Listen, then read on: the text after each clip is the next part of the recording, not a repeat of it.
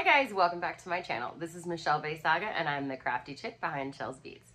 Today we are going to be working a little differently than we have been.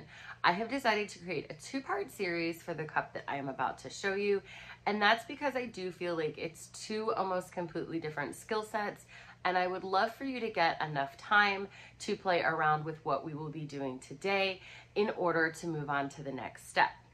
So before I explain a little bit more, I wanted to show you the adorable pieces that we will be making today. I have been a polymer clay artist for several years, and thanks to the amazing Rachel Tintle of the Creative Siren, I had the courage to put these ideas onto a cup. So I will have all of her social media listed and linked below so you can check out her work. She is truly an amazing artist. So the backstory behind this cup is that I want you guys to get comfortable with sculpting and comfortable with creating these pumpkins before we actually move in to adding any color and paint and glitter and resin. So that's what we will be working on today, guys, and I hope you enjoy this tutorial. Unfortunately, I had an accident in my studio and the finished cup that I had ready ended up cracking. Um, this was totally my fault. It ended up falling off from a very high countertop in my garage and unfortunately it was not presentable for this video. So the final reveal will be on Tuesday and I cannot wait for you guys to see it. So if you guys are ready to get started on this sculpting, let's go in.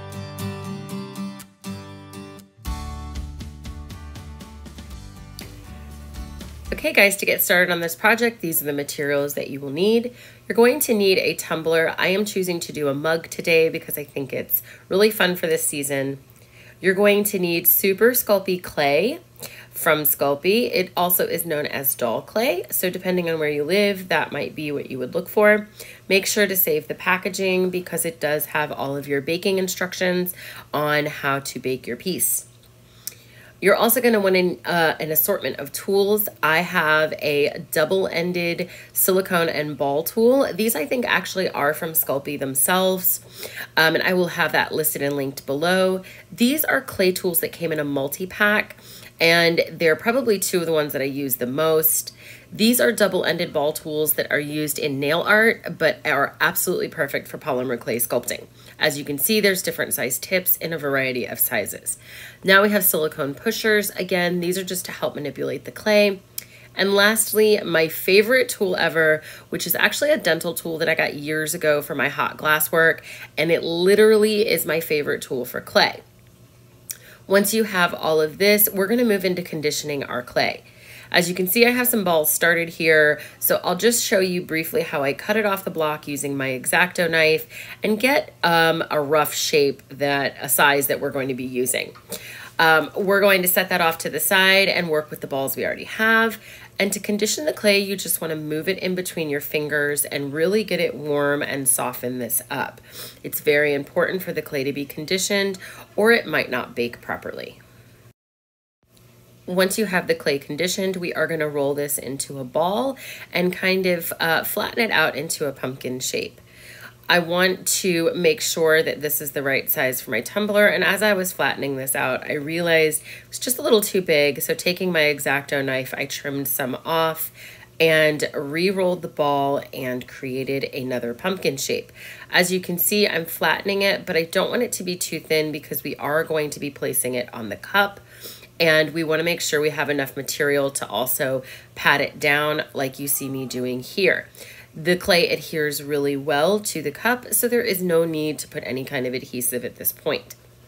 We're going to come in now with the smallest ball end and silicone tool and we're going to create the indent on the top and the bottom. For the top, this will be where the stem goes, and on the bottom, this is just that bottom of the pumpkin where all of the lines are going to meet in the middle and create that really nice uh, pumpkin butt look.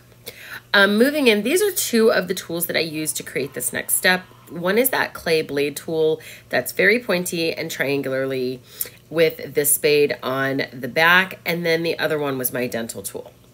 As you can see here, I'm using this to map out the lines that I need for the ridges on the pumpkin. I start in roughly what is the center, create my line, and then I come out from the sides in a half moon arc shape. and gently push these lines towards the bottom of that pumpkin. Uh, with clay, you will need to work in multiple steps to get the look that you like. So just keep manipulating the clay until you get the look that you are looking for. Now go back and accentuate those lines again so that we have a clear grid to work with as we lay out our face. The next step is going to be the add the facial features of the jack-o'-lantern and using my blade tool, we are going to come in and draw two triangles for the eyes.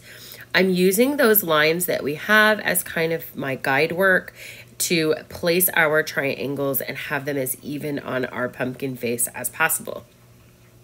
I come in and do the second eye the same way.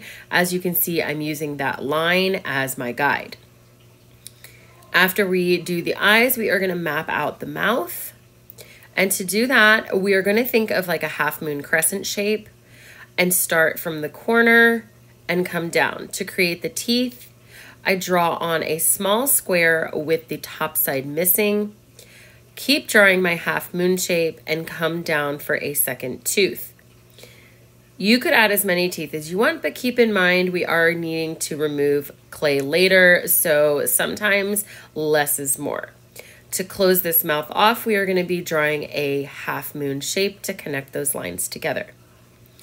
Moving on, we are going to be removing clay in order to create that hollowed out look.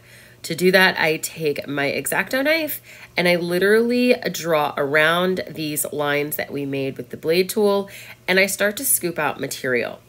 Um, this is kind of a tedious process, guys, so you just want to be patient. And as you can see, it looks kind of like a hot mess right now, but we're just gonna roll with it. So um, doing this, you're just gonna wanna remove as much clay as you feel you need to do. And then we're gonna come in with one of our ball tools and we're gonna clean that up. Um, the ball tool is really fun because it kind of glides over the clay and that's what we are doing here is smoothing that all out so that when we apply paint later, um, it'll look like a hollowed out jack-o'-lantern. Once we have that looking the way we would like, um, keep in mind it's clay, so if you mess up, you can just push something back into shape to get it to lay where you would like it to. Once we have this done, we are going to come in and do the second eye.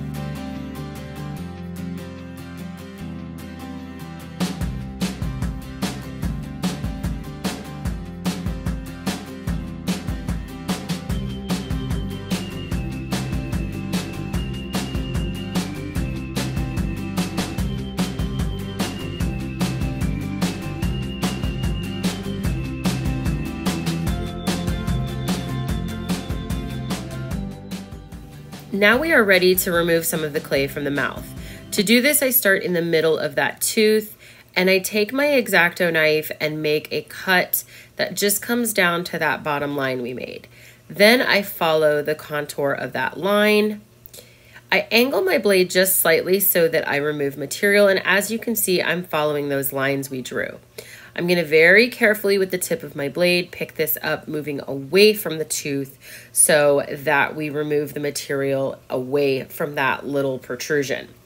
Once we have that, as you can see here, it's a little fiddly. I use the tip of my blade to manipulate clay to just keep it in shape and make sure we're not getting that tooth too out of sorts. From here, we're gonna move on to the center section. And again, as you can see, I'm following those contour lines that we already put in as the guide for my blade so that I know where to cut. We were trying to remove as much clay as possible before we come in with the ball tool so that we don't disturb those teeth too much.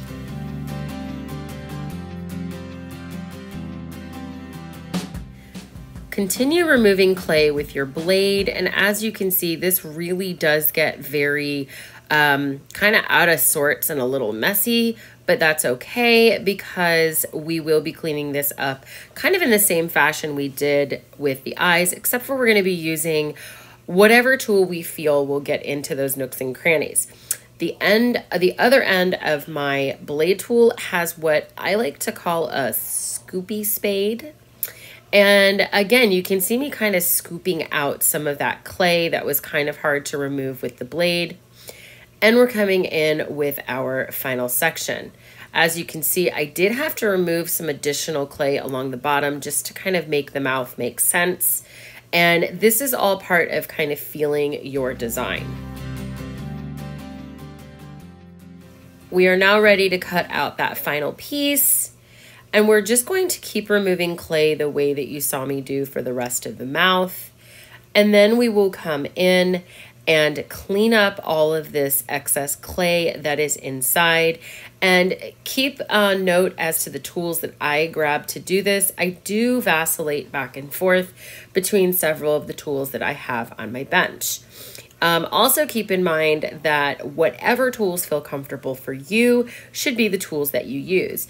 If you have other tools in your arsenal that get this job done, please feel free to use them. It's really not so much about what tools you have, but what tools feel comfortable in your hand.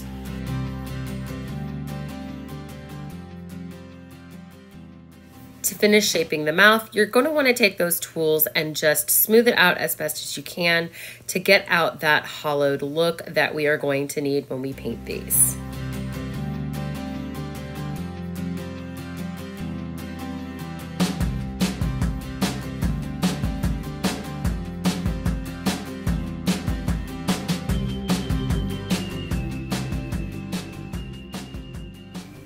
Now let's move on to adding our nose. To do this, take the end of that dental tool and we're gonna be making upside down teardrops and just accentuating the bottom of that teardrop with one of our ball tools. As you can see here, I come back in with that and just elongate the nose.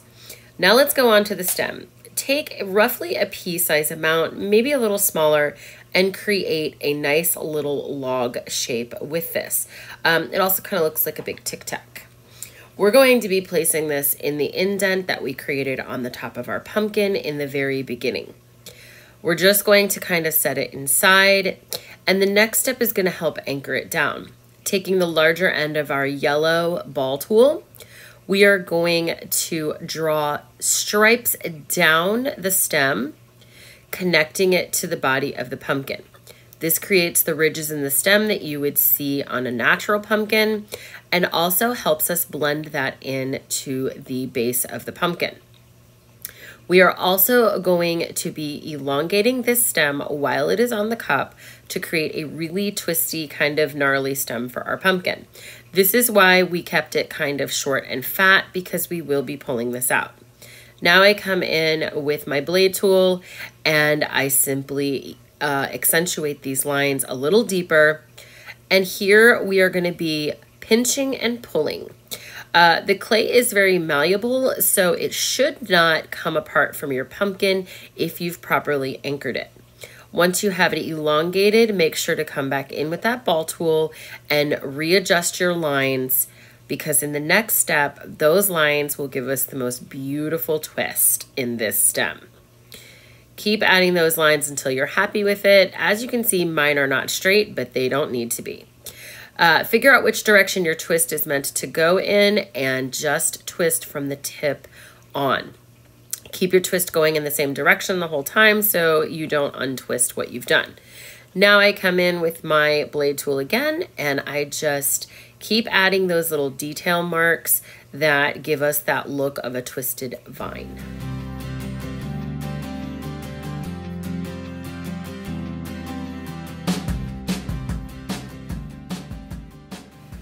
Now we need to take a small piece of clay, roughly the size of a pea, condition it, and we are going to be creating the vine that we will use for our leaf and for a kind of swirly vine that's going to go across the pumpkin.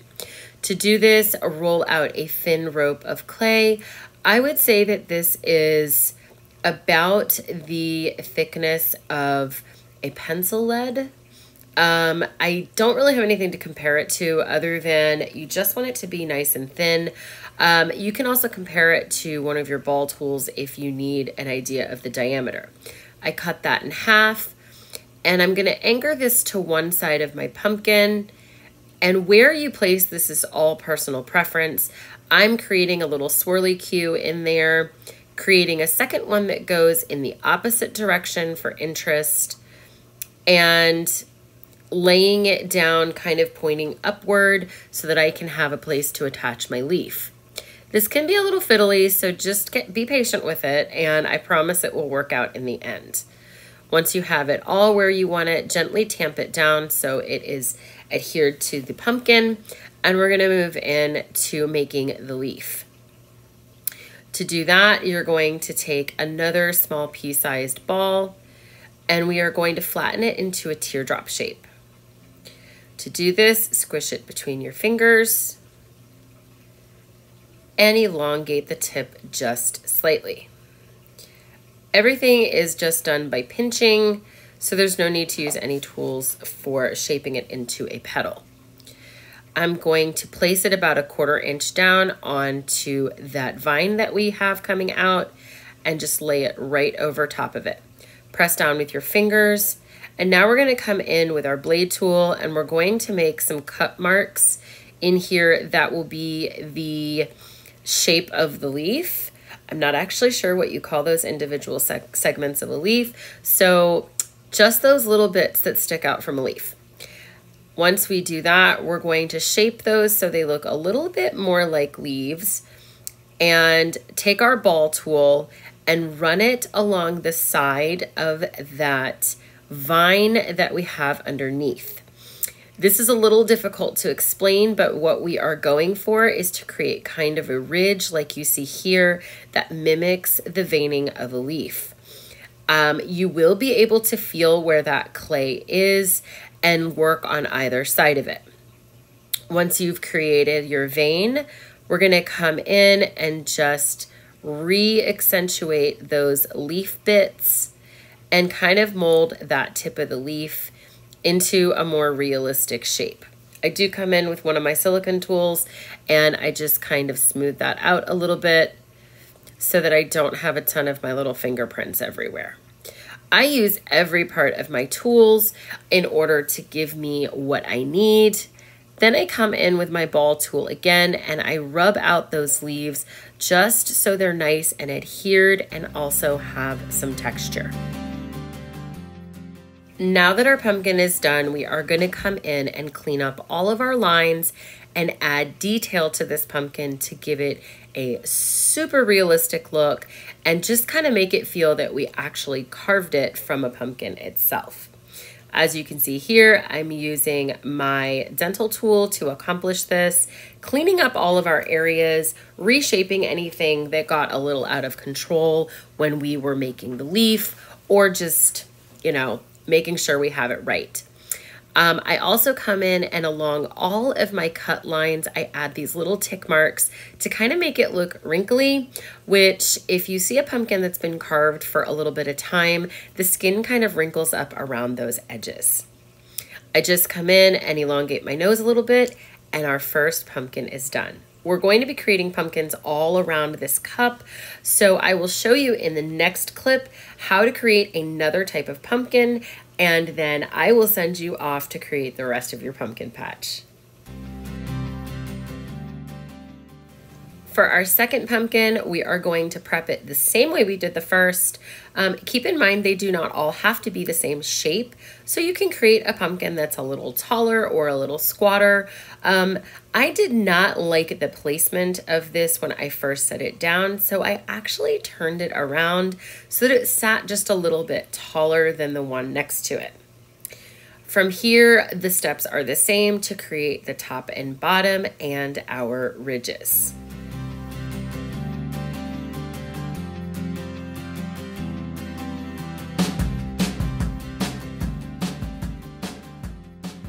Once we have our ridges in place, we are going to be taking that small double end ball tool and we are gonna create some oval indentations for eyes. This is one of my favorite ways to create a pumpkin because it really kind of looks like a hollowed out eye socket and is perfect for a spooky Halloween look. This is also how you would create a jack style pumpkin. And we're just going to be uh, using that ball tool to push that clay in, uh, kind of like we were sculpting, except for we're just using the clay we have there instead of removing clay. You want to do this nice and smooth to create a socket look as you can see me pressing up on those edges just to give that hollowed out look. From there, we're gonna come in with my blue ball tool and it is the largest one and we're gonna create a small oval for the nose. I almost said circle. Um, and then that is just going to be as simple as that. Now, I do want to accentuate my lines a little bit just so I keep everything straight. And we're going to take that same blade tool and we're going to draw a wavy line going all along the bottom of the pumpkin for his smile. Uh, I do like this effect because it makes a quick and easy pumpkin, but it also has a lot of detail. From there, we are going to come in with our dental tool and we are going to make the same little tick marks, only these are gonna be slightly longer. I call them my stitches and we are going to stitch up this pumpkin's mouth. I am not sure, but somewhere I read that it was tradition to stitch a corpse's mouth closed, which is why we see that in some of the old time movies and things like that. So I thought I'd just throw that in there, guys. Just a little cool fact. Um, now we are going to come in and add our stem just like we did for the other pumpkins. I did not add a leaf or vine to this because I felt like there was a lot of detail in the pumpkin next door to him. So this one was able to just get by with only a stem.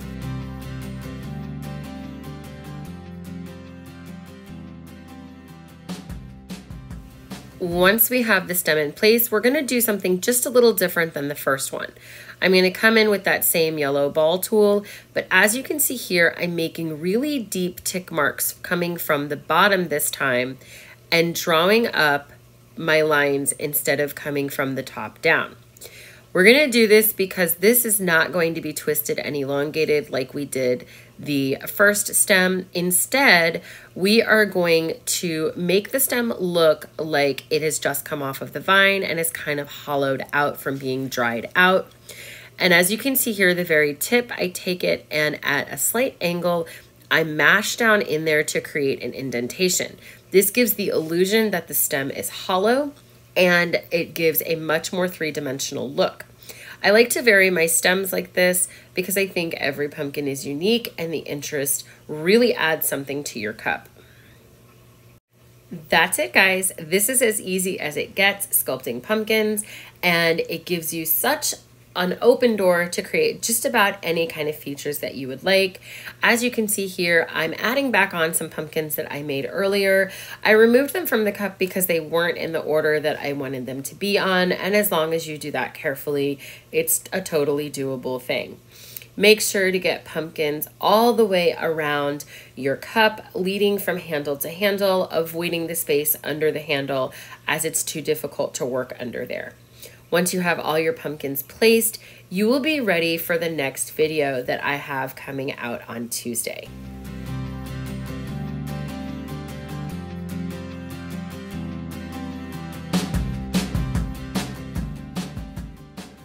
Thank you so much, guys. I cannot wait to see the amazing pumpkins that you sculpt, so make sure to tag me on social media so I can see all of your beautiful pieces.